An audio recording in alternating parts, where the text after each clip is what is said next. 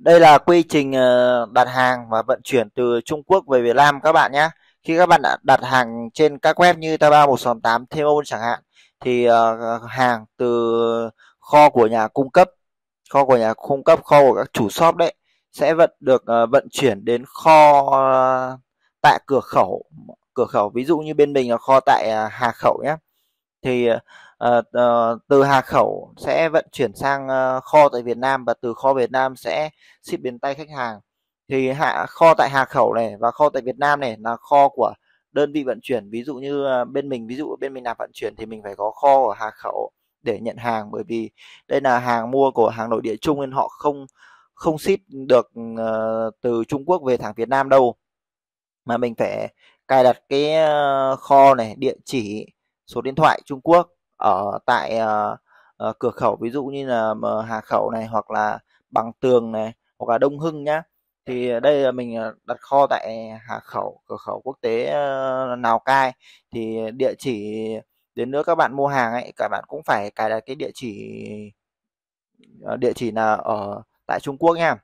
Thì nếu mà các bạn không có địa chỉ ấy thì các bạn uh, có thể qua bên uh, dịch vụ vận chuyển đặt kho của đơn vị vận chuyển làm kho của các bạn để họ nhận hàng và họ vận chuyển về Việt uh, họ nhận hàng và họ vận chuyển về Việt Nam cho các bạn. Còn từ từ khi mà kho về đã, đã về đến Việt Nam ấy thì đến tay khách hàng thì có thể là ship uh, như kho Việt Nam của mình ở Lào Cai nhá ship đến tay khách hàng.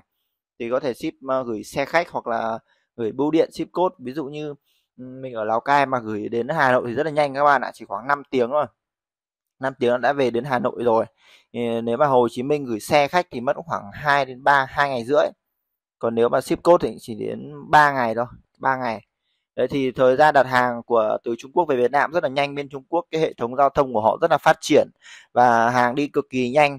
Mình đặt thường khoảng là trung bình ấy, là khoảng 4 ngày là từ khi đến lúc mình đặt hàng. Bắt đầu đặt hàng đến ờ, đã về đến Hà Khẩu rồi.